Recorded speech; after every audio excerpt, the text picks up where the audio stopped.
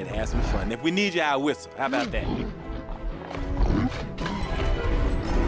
Hey, Shrek, wait, wait, hey, wait a minute. Look, you want to do this right, don't you? What are you talking about? There's a line, there's a line you gotta wait for. The priest is gonna say, Speak now, forever hold your peace. And that's when you say, I object. Oh, I don't have time for this. Hey, wait, wait, what are you doing? Listen to me. Uh, look, you love this woman, don't you? Yes. You wanna hold her? Yes. Please her? Yes. Then you got to, got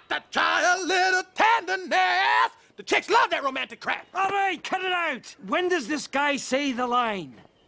We gotta check it out. And so, by the power vested in me, What do you see? The whole town's in there. I now pronounce you They're at the altar.